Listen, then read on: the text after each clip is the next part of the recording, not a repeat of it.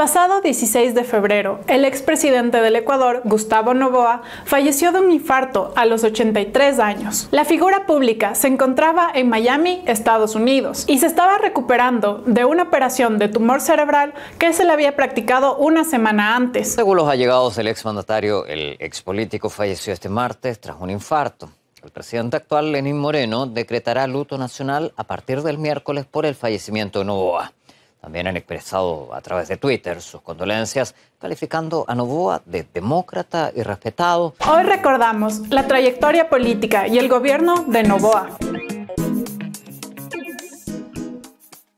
La carrera política de Gustavo Novoa se originó cuando fue gobernador de la provincia del Guayas entre 1983 y 1984, durante la presidencia de Osvaldo Hurtado. En el gobierno de Sixto Durán Ballén fue representante del presidente para el análisis de la situación de la educación superior en el Ecuador. Finalmente, uno de los momentos más notorios de su carrera política se dio cuando en alianza de los partidos Democracia Popular y Unión Demócrata Cristiana fue electo como vicepresidente de Yamil el 31 de mayo de 1998.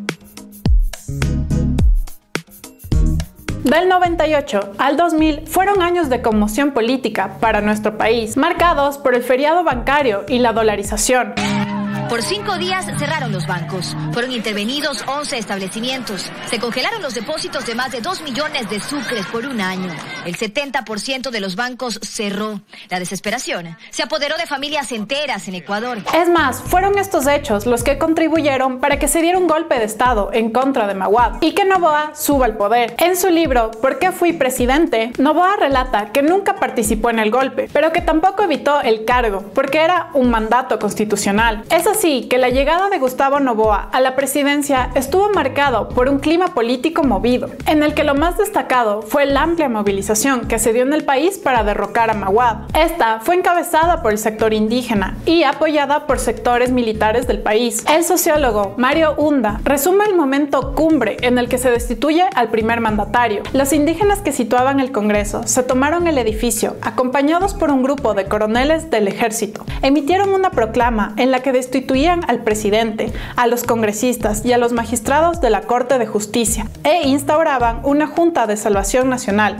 integrada por el coronel Lucio Gutiérrez, Antonio Vargas, presidente de la CONAIE, y Carlos Solórzano, expresidente de la Corte Suprema de Justicia. El presidente de la Confederación de Nacionalidades Indígenas del Ecuador y los representantes de las Fuerzas Armadas acaban de firmar el decreto mediante el cual el decreto mediante el cual ellos asumen el poder en el Ecuador. La Junta de Salvación Nacional duró poco y el 22 de enero del año 2000 el alto mando de las Fuerzas Armadas declaró el abandono del cargo por parte del presidente y reconoció al vicepresidente Gustavo Novoa como presidente del Ecuador, acto que después sería ratificado por el Congreso Nacional.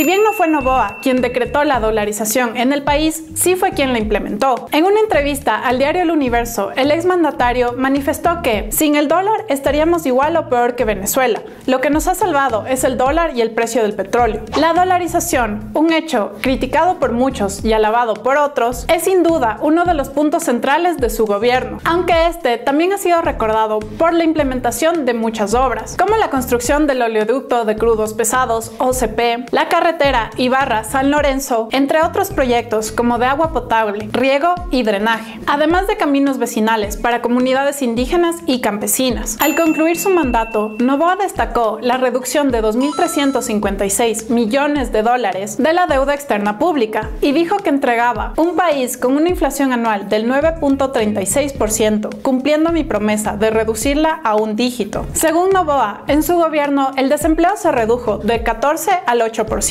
mientras que el empleo precario o subempleo del 46 al 30%. O sea, como que dicen, búsquese Godínez a la más amargada y póngala aquí en este puesto. Así, Novoa aseguró que entregaba a su sucesor un país en las mejores condiciones que se podía para gobernar y que los datos así lo confirmaban, aunque algunos analistas del momento ya dudaban de esta afirmación.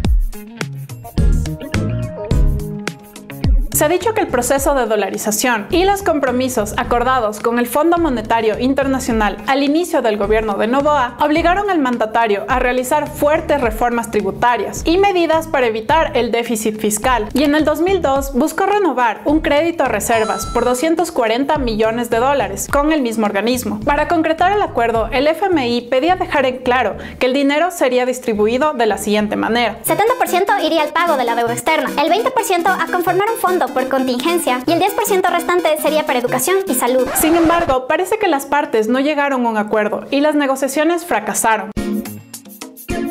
Al finalizar su mandato, Novoa habría pedido que, y cito, que Dios y la historia juzguen si Gustavo Novoa supo cumplir su compromiso. Y al parecer habló muy pronto, ya que este personaje tuvo que rendir cuentas del tiempo que estuvo en Carondelet a la justicia ecuatoriana. Cerca de tres meses después de finalizada su presidencia, fue acusado de malversación de fondos en la renegociación de la deuda externa. La denuncia vino de parte de su enemigo político y entonces diputado León Febres Cordero y provocó la orden de prisión que obligó al expresidente a buscar asilo en República Dominicana. En el momento, Novoa declaró que, con profundo dolor, debo comunicarles que el día de hoy he tomado una de las decisiones más amargas de mi vida, la de solicitar asilo político diplomático, para evitar la persecución y por el odio de un hombre para quien el Ecuador no es más que una palabra sin historia y sin futuro.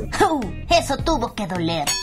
En República Dominicana permaneció desde 2003 al 2005, año en el que volvió a Ecuador por la declaratoria de nulidad de su juicio llevada a cabo por la Corte Suprema. Posteriormente, se invalidó la nulidad y se ordenó la detención domiciliaria de Novoa en Guayaquil. No fue sino hasta el 2007 cuando se retiró oficialmente los cargos en contra de Novoa, ya que la justicia no pudo probar los cargos en su contra. La tarde de este jueves y luego de una larga exposición, el presidente de la Corte Suprema de Justicia, Jaime Velasco, confirmó la revocatoria de la orden de prisión en contra del expresidente de la República, Gustavo Novoa Bejarano. Con dicha resolución, el titular de la Corte Suprema otorgó la libertad al exmandatario, pero no el sobreseimiento. Yo el cubridor no soy de nada ni de nadie, ni nunca he sido, ni lo seré. Por esto esto para mí es una victoria. Una victoria contra la calumnia, una victoria. El gobierno de Gustavo Novoa marcó los sucesos de la historia reciente de nuestro país. La carrera política de esta figura se forjó en medio de una conmoción social, de la dolarización y de un juicio político. ¿Y tú? ¿Qué piensas sobre las acciones de este personaje?